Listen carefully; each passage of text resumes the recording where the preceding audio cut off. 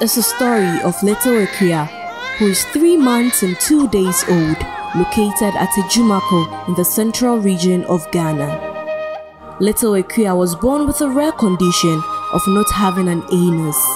She poops through her vagina and feels pain anytime she poops, and it is accompanied with uncontrollable tears.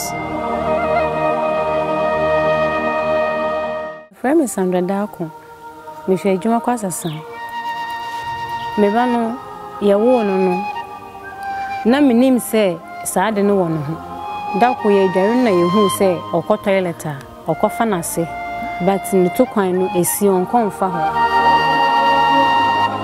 After several hospital checks, doctors at Children's Hospital has given an assurance that something can be done about her situation.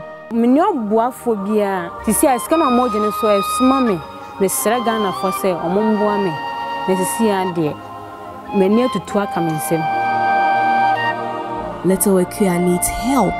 The family can't afford the amount needed for surgery. Little Akua and her family seeks financial aid. Let us come together and put a smile on Little Akua's face.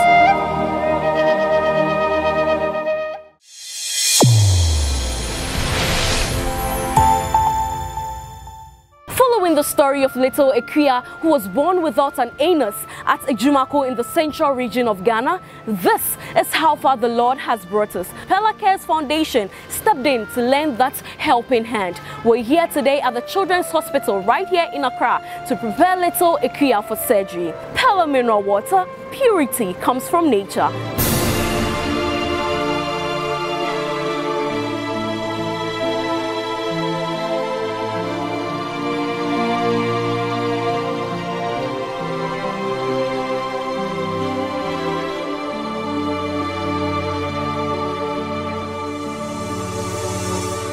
I'm Hope Glover Addy, a pediatric surgeon. We just operated a child with an anus that was opening close to the vagina, so it doesn't have a normal anus. So what we did was to bring the anus from the part that is close to the vagina, almost inside the vagina, and then bring it to where the anus is supposed to be. The hole is so small, and because it's small at where it was, the child cannot pass through very well. So we have to bring it to the normal site. There are so many children with so many other problems who have been operated that nobody knows about. But it's a common thing, and these children need to be supported. This operation could have been possible if Perla Care Foundation hadn't come in to help. So they've been a great help, and I'm sure there are other children out there who have same problems.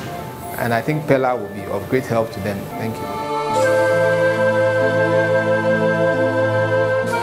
Congratulations to little Akua who just came out of a surgery that was very, very successful. And this is how Perla Cares Foundation welcomed her. It doesn't just end here.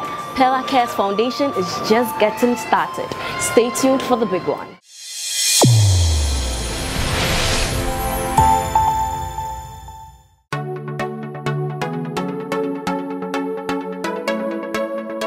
Following the story of little Akua, this is how far we've come. She gets to be discharged today, and Perla Cares Foundation is here to give her a proper send off. I'm here as a brand ambassador um, of Perla Mineral Water. It's part of Perla Mineral Water's social responsibility to give back to society, especially children. And that is why I am here as a brand ambassador to support this initiative.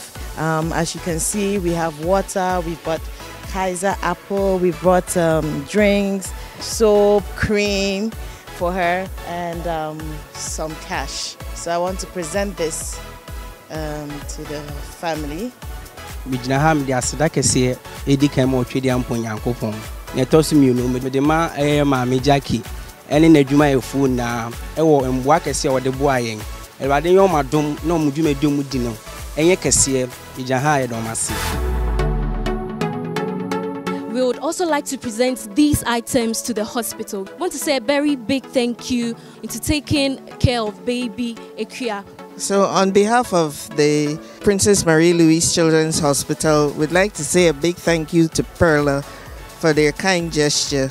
We want to thank you too for stepping in to help the baby, and we want to say thank you so, so much from the bottom of our hearts. As you can see, baby Akua is healthy Her family is happy. But we, the Perla Cares Foundation, are happier. Remember to drink Perla mineral water because for every bottle you purchase, you are contributing to saving a baby's life.